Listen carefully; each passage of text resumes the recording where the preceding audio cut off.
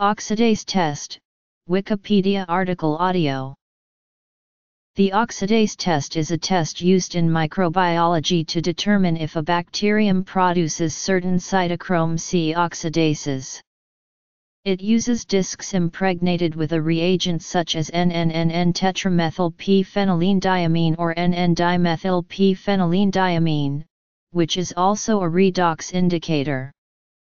The reagent is a dark blue to maroon color when oxidized, and colorless when reduced. Oxidase-positive bacteria possess cytochrome oxidase or indophenol oxidase. These both catalyze the transport of electrons from donor compounds to electron acceptors. The test reagent, TMPD dihydrochloride acts as an artificial electron donor for the enzyme oxidase. The oxidized reagent forms the colored compound indophenol blue. The cytochrome system is usually only present in aerobic organisms that are capable of using oxygen as the terminal electron acceptor. The end product of this metabolism is either water or hydrogen peroxide. Classification OX plus OX Procedures Strains may be either oxidase positive or oxidase negative.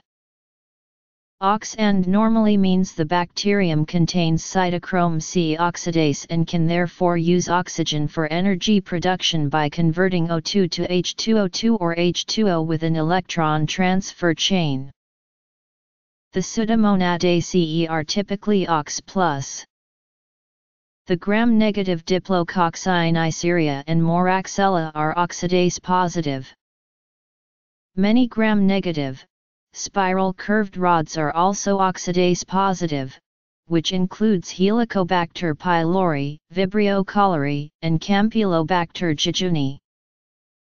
Oxidase variable Legionella pneumophila may be oxidase positive. Ox normally means the bacterium does not contain cytochrome C oxidase and, therefore, either cannot use oxygen for energy production with an electron transfer chain or employs a different cytochrome for transferring electrons to oxygen. Enterobacteriaceae are typically OX. In alternative manner, live bacteria cultivated on trypticase soy agar plates may be prepared using sterile technique with a single line streak inoculation. The inoculated plates are incubated at 37 degrees Celsius for 24-48 hours to establish colonies. Fresh bacterial preparations should be used. After colonies have grown on the medium, 2 to 3 drops of the reagent DMPD are added to the surface of each organism to be tested.